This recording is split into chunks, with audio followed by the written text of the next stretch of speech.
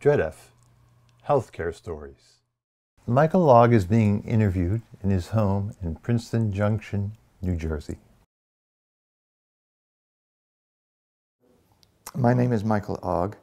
I live here in Princeton Junction, New Jersey.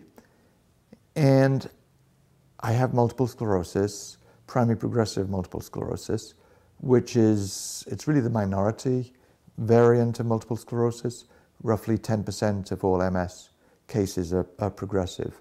So it's, in a way, it's a little bit unusual. Um, and men, even many health professionals, professionals aren't as familiar with, with um, progressive as they are with the more common relapsing remitting. Um, I, as you can see, a wheelchair user. I've got absolutely no use of, of either legs. I've got no use of my left arm. I've got diminishing use of my right arm. I'm mostly lacking any real dexterity now. You can see I can't even really open my hands. To a large extent, the physical disability, um, or disabilities plural, um, can be adapted for with technology. And, and today, more and more, there's more and more technology. Um, so I feel fortunate that I can participate in a very full way um, in, in society and be out and about and feel every bit, bit as much a participating member of the community as anybody else. So this particular uh, set of issues started um, very early in January 2010. Um, and it actually all started, um, unfortunately, with a completely preventable medical error where I was being assessed for wheelchair seating. Um, and I was working with uh, an occupational therapist. Um, and unfortunately, it was one of those circumstances where she thought that I would do well or do better with a different seat cushion. The seat cushion was changed. One of the things that really should always be done with seat cushions is do what's called a pressure map. Um, a pressure map, if you think of it as a like a meteorological map that that that has a geographical map showing the high and low pressure in the atmosphere. Well, it's the same thing. It's, uh, um, it's something that goes on the wheelchair cushion and has got a grid of um, cells, roughly half an inch square, and it just literally reads out the pressure in each one of those. And so you can see which are the high pressure and which are the low pressure areas. This is a very basic diagnostic tool for wheelchair seating. Um, she didn't do that. And worse, changed my cushion, said, well, let's see how this works. And about two hours later, she was on, on the plane on her way to Florida for a week's vacation. And later that evening, it was clear that it was not as comfortable as, as the previous cushion. And within a matter of a couple of days, um, it was clear that I already had some sores. So, pressure sores, there's a scale of those going from one, one through four. One is the mildest of just um, redness but not skin breakdown. Um, level two is where there's actually skin breakdown. And stage two pressure sores really is the critical point because recovery, full recovery from stage two is completely possible in a relatively short amount of time with the appropriate care. But if it goes on from stage two, it can very, very rapidly go to a stage three, which is where there's um, erosion of the um, underlying flesh, to a stage four, where the flesh, literally right down to the bone, uh, becomes damaged or eroded. And unfortunately, the progression from stage two to stage four um, pressure sore can be in, a matter of days. And this is something that the medical community should have been completely on top of. And I started seeing doctors, um, as I say, back in January of 2010 um, with stage two pressure ulcers. And the remedies were very simple. Um, essentially, what you have to do is just take the pressure off, off your rear end. Um, that's all there is to it. And uh, I suppose I should have known better, um, but the doctors who, who saw me most definitely should have known better. And so what happened was there was this cascade of the pressure sores just not healing and then eventually getting worse. Um, I was trying to get more urgent medical attention, and doctors were saying, oh, don't worry, it'll get better by itself. And of course, it continued to get worse by itself.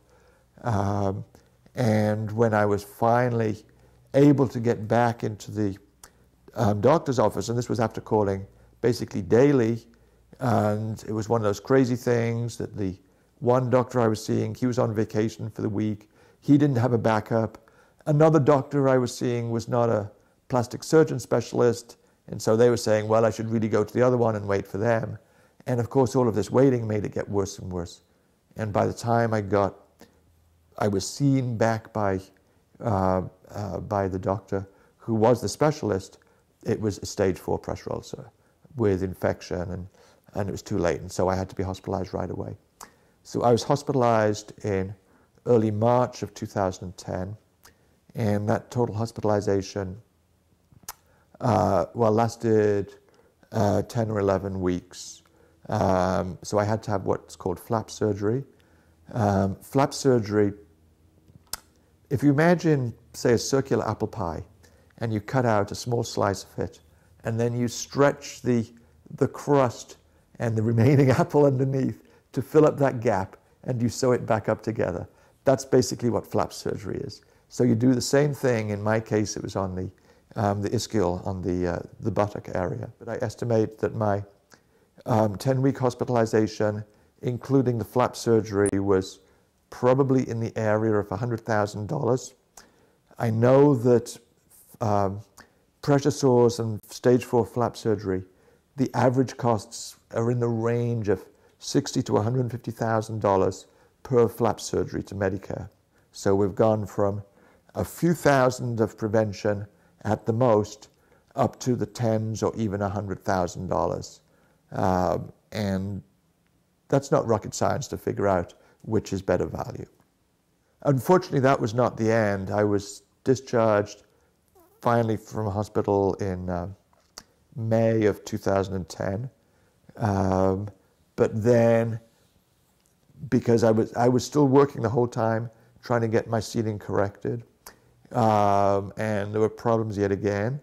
And so back in January of this year, January 2011, I was back again with stage two pressure ulcers. This time I did know better. Um, and I essentially instructed the medical staff, this was here locally, I instructed the medical staff that uh, I had to be taken off the wheelchair, put on an air mattress, and kept on an air mattress until the stage two had healed over, until the skin had uh, become intact again. Uh, so I stayed in the hospital for uh, a bit over a week and then rented the same air mattress um, that I had in the hospital for my hospital bed here at home. Um, I stayed on it um, in bed for the best part of a month um, until the, the wound was was completely healed. You know, the funny thing about a pressure sore, you're not sick, um, but you've got to be in a situation where, where the pressure is being relieved. Uh, so I still want to go and do things. Um, and when it was possible, um, I was able to be back in the wheelchair when I was in the, in the hospital. Unfortunately, and this is a situation I found, um, I've now got moderate experience of quite a few hospitals up and down the Northeast Corridor. Um, and with very few exceptions, um, they just don't have the transfer knowledge and technology as they really should do. So um, I was in the hospital, I was in my wheelchair for part of the day, and then indicated to the nurse that I wanted to go back um, into the bed. And for whatever reason, they did not have a lift available. I know for a fact that they have some in the hospital. Maybe they thought it was um, too much work or it was in a different wing or whatever. Um, but they decided to transfer me uh, manually um, by lifting. Um, now, some people have different attitudes to this. I don't mind too much being lifted. I don't find it degrading or anything. Um, I know some people do. Um, but as a safety thing, um, it, it, certainly is an issue. Um, on staff at the time was the, um, was the nurse, and so she summoned two aides, um, CNAs, and it was very clear from the body language of the CNAs that they did not want to lift me. Now, I'm not a very heavy person. I was uh, 150 pounds. Uh, in fact, I'd been losing weight as a result of the, um, um, of the pressure sore. And I was down to 135 when I went into hospital. So I'm not heavy, uh, but it was clearly they, they didn't want to be lifting me. Uh, so the three of them lifted me out of the wheelchair, and instead of doing a smooth transfer laterally over to the bed and lowering me down, I was pretty much literally thrown like a sack of potatoes um, onto the bed. Um, and this was with a stage four pressure ulcer.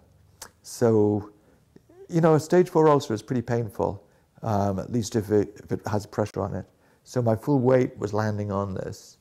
Um, that was not a happy moment. Um, I would like to take um, young doctors in medical school and try and get them to be a disabled patient for 24 hours and understand what it's like when you can't push the call bell or you can't adjust the hospital bed or you have that transfer from hell um, or things like that. That none of which is rocket science, you know. On the scale of medical interventions, the technology is uh, not quite Stone Age, but it's not very high advanced technology. Um, it's, it's more um, having the, uh, those sensibilities and, uh, um, and, and there has to be some awareness, and this has to you know, come down from on high from people who um, who design medical school curricula. You know, I've been in situations in um, hospitals where the call bell was out of reach, and that wasn't an issue. Anybody who's got some reasonable dexterity or movement of their limbs um, could could reach and find the call bell. I couldn't.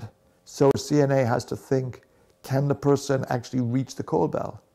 Um, which for me is essential because on every hospital bed that I've used in a hospital, um, if you've got a disability, you can't actually adjust the hospital bed yourself.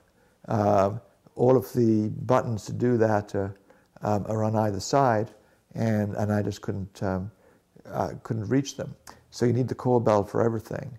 Uh, basic things such as washing and, and brushing your teeth and feeding. Um, I can barely feed myself if I'm sitting up with things in the right place and everything.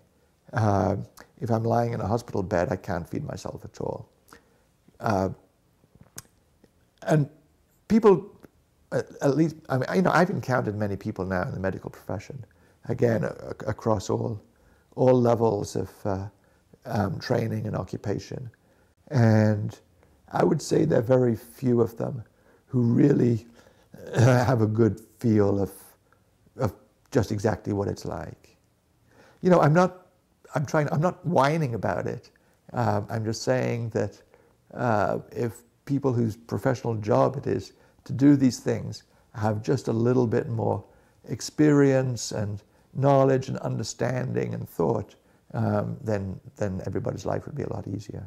It was just before I was hospitalized at the um, um doctor who examined me and then uh, sent me to hospital. Again, in his doctor's office, he had an examination table, uh, but no transfer equipment. Um, he worked single handedly. Actually, the first time I saw him, um, he got his secretary to help transfer me. Um, generally, secretaries don't like having to lift people. It's not their job, and uh, they shouldn't be doing that, and they're certainly not trained to do it. Um, so I guess the next time he figured he wouldn't ask the secretary, but did it himself. Uh, now, he was quite a strong guy and was able to raise the examining table up to the same height as my wheelchair. Um, but nevertheless, it's, it's, you know, it's very difficult for one person to do that. Um, and again, I had a stage four um, pressure sore. And so some of the process meant dragging me laterally which was then applying shear um, on the sore. And if anything, shear is more painful than, than direct pressure. Um, so that's how I was transferred onto the examining table. And unfortunately, it's, it's, it's very common that uh, I've never, I don't think I've been to any single doctor's office where they've actually had transfer equipment. I see medical staff very, very regularly. Um, either nurses who come to my house, I have frequent visits to a doctor's office, neurologist, physiatrist, urologist, uh, you name it, uh, primary care, you name it. Um, I see quite a few doctors, and not one of them has a way of weighing me. If I were weighed every time I went, I could at least be monitoring things. The last time I was weighed in a doctor's office was when I could last stand on my own two feet, which was well over 10 years ago. Understanding these things really should be a basic part of medical training, um, not just for doctors, but, but anybody involved uh, um, PT, OT, nursing, um, CNAs, the whole, uh, the whole thing. I've got a very, very simple choice in front of me that I can either sort of sit back and let things happen, and usually they either won't happen or the wrong thing will happen, or I can take charge. And uh, that's what I choose to do. I feel that I'm able to speak, and so I feel I have a responsibility to speak. Healthcare Stories Made possible with generous support from the Manuel D. and Rhoda Mayerson Foundation. Michael Ogg was interviewed in his home in Princeton Junction, New Jersey, July 2011. For more information, visit the Disability Rights Education and Defense Fund website, dredf.org forward slash healthcare dash stories. This work is licensed under a Creative Commons Attribution Non-Commercial Share Alike 3.0 Unported license.